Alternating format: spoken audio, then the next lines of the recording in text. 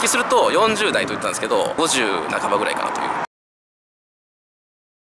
桑田死ねでなんかないですか？使えないです。桑田死ねで8000円プラスとか。なんで嘘ついたんですか？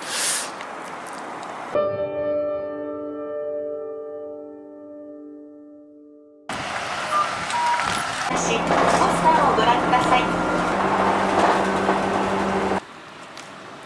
はい着きました。はいバスで西九州新幹線出番が少ないですね。僕への文句ですか？いい違います。嬉野温泉にやっぱり書いてありましたね。100年の後悔でした。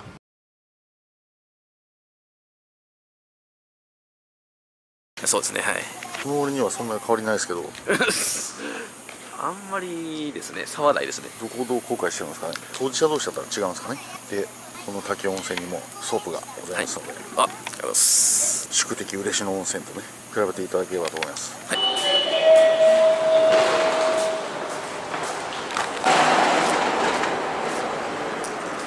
反対側も来ましたがそんな香りはないですけどね。そうですね。はいここのソープは駅近にあるんですね。撮影が短くていいですね。違法です。若干遠いです。車で3分です。車で3分もかかるの？はい。なので歩くと結構かかります。温泉街の雰囲気出てきましたね。はい。ここも遊郭あるんですよね。あります。あの辺の建物とかもぽいですけどねこのエリアはそれに近いと思いますね。近いっていうのはどういうことですか？うん遊郭だけど遊郭出ないってことですか？んなんですかねそのもう少し僕の右手の方。僕の右手は薬屋ですけど。あのもうつあのあっちの方。駐車場か。あの 桑田さん今回はいくらぐらいなんですか？60分1万8000円ぐらいです。勘弁してくださいよ。激安コースがあるかどうか調べてみます桑田見たでなんかないんですか？その残念ながらないです。桑田死ねでなんかないんですか？使えないです。桑田死ねで8000円プラスとか。アンチ限定のそういう店ではないと思うんで、はい、あ雰囲気出てきましたね温泉街の。この建物なんか完全にぽいですけどね。そうですねこの辺は。もうそのエリアとます。あれも多分そんな感じですこか、れあれ？はい、あの辺りなんか窓が独特や。はいおおこれか。来ました。これです。おお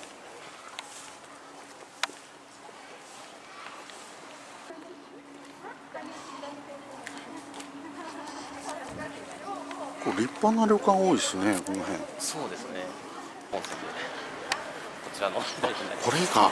入りづらいです。2軒ですか？ここには2軒ですね。とりあえず聞いてきてください皆さん手前のお店さんが50分1万6000円。お店さんが60分1万6000円です。で忘れてたんですけどおう。4軒あるみたいなんですよ。おもう1個のお店さんの近くに奥まったディープなところが あったんですけどそれもやっぱり絵には収めていきたいなと思うんですけど。ありましたありました。この奥ってこと？おおこれか。こっちは？あのマンションですか？これ多分これなの下やと思うんです。けど分かんないです。あありましたああそこです。どこああれか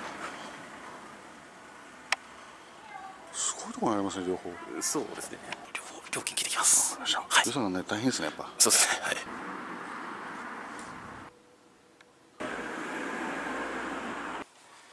どちらも40分1万4000円です。おお安いよ桑田ねはあなかったです。そんないんです。かそんな割引はなかったです。割引自体がないです。そういうどっち行きます。ちらはですねおう。2名の方がいらっしゃいます。女性が30代と40代前半です、う。んでこちらがですねおう。1名しかいなくておう。40代後半です。どっちですか？40代後半いきます。なんでなんですか？対決はねヒリヒリする方が皆さん喜ばれるんじゃないかなと。それ40代後半っつって50代後半とかありえるっすからね。ありえますね。ソープランドは。はい。いってらっしゃい。見てます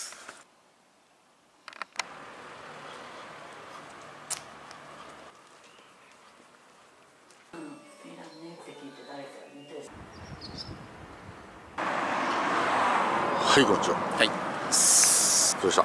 よかったです。よかった。よかったです。え40代後半の方。はい。先ほどと全然違いました。そんな風に？優しかったです本当に。そうですか。もう全てを包んでくれました。お母さん思い出しました？お母さんそんなに優しくないですけど。最近怒られたこと。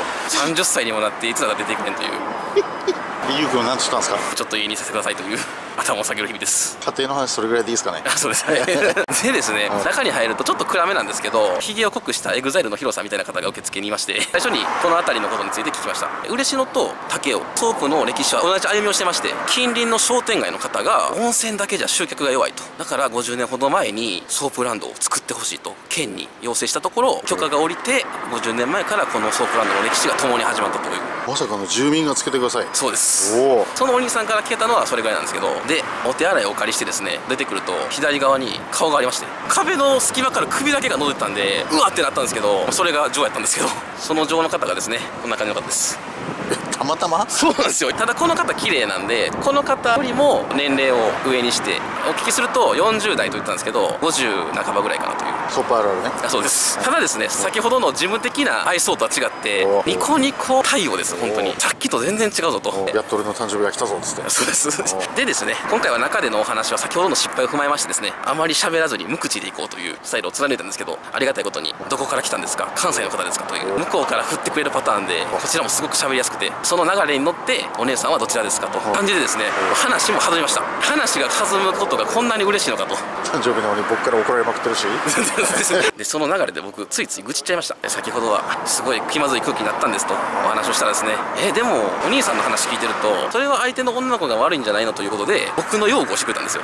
珍しいですね。そうなんです。おそんな当たり前のことで喜んでるんですか？お金もないし。そうです。でそんな中でですねうん。サービスがすごく良かったんですけど今回は向こうから何も言わずとも湯船に浸かっていきなり口づけをしてくれて誰に尽くせという感じでございました。さっきはそんななかったんですか？なかったです。お風呂にも入ってくれない。口づけも嫌がられるいやでもそれが普通でしょ桑田さんの場合は。まあ僕の場合は普通なんですけど、はい。今回は本当にいつもだったらちょっとねアプローチかけるんですけどノーアプローチで来てくれたんで年はね熟女ですけど素晴らしいサービスをしてくれるいい方なんだなという 愛を感じました。ただ今回すごいピンチだったんですよ。弱ってまして。まあ連発ですからね。にしても今までやったらまだねすぐ元気になったんですけどお。今回スティックがですねブランクが。ブランクがありましてお。だいぶへにゃへにゃになってましてですね。おやばかったですよ。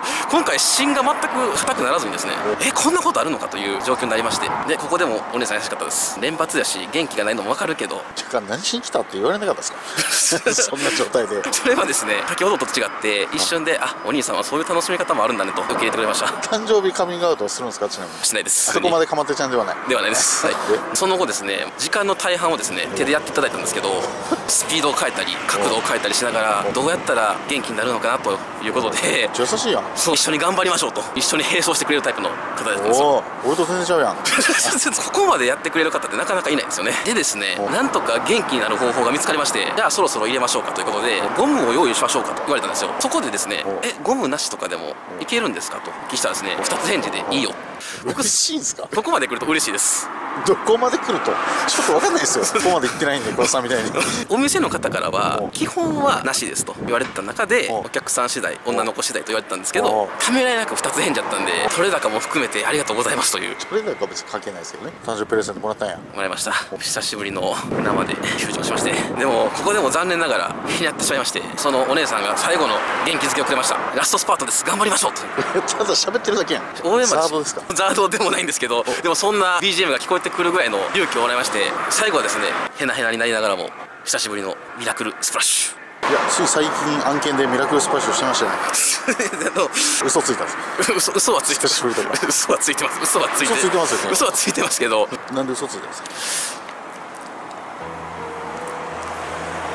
動画の公開日は間違えました。その辺一応考えてるんですね。そう考えてます。間違えてるけど。じゃあある意味ライバルと言える嬉野温泉と武雄温泉ですがどちらが勝ちでしょうか？武雄温泉の勝ちです。僕はそんなこと言ってませんからね。桑田さんいよいよこの旅のクライマックスですね。クライマックス！